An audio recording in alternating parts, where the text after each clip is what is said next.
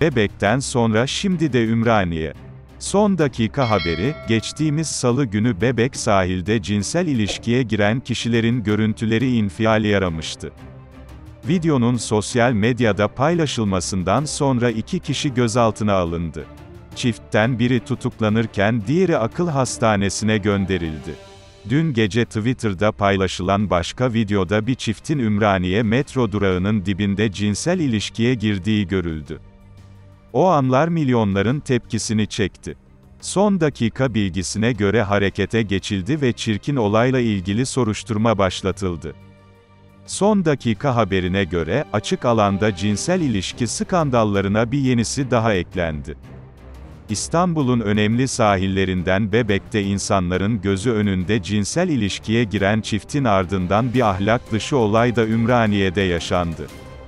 Ümraniye'deki görüntülerde çiftin, kimseye aldırış etmeden cinsel ilişkiye girdiği görüldü. Görüntülerin ardından Ümraniye TT listesine girdi. Öte yandan polisin de her yerde videodaki çifti aradığı öğrenildi. 31 Mayıs'ta Bebek sahilinde yaşananların şoku henüz atlatılmamışken, benzer bir olay Ümraniye'de meydana geldi.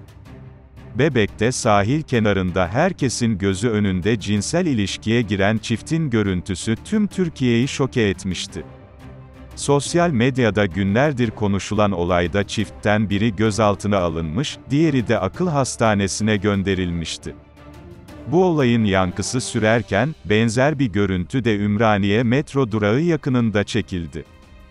Dün gece sosyal medyada paylaşılan videoda çift, metro istasyonunun hemen yanında, çevredekilere aldırış etmeden cinsel ilişkiye girdi. Ahlak dışı görüntüler bir anda Twitter'ın en çok konuşulanları arasına girerken, kullanıcılar da adeta olaya isyan etti.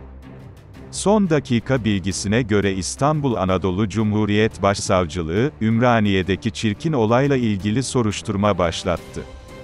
Gelen bilgilere göre emniyet güçleri görüntülerden o kişilerin kimliklerini tespit etmek için harekete geçti. Çirkin görüntülerdeki iki kişi her yerde aranıyor.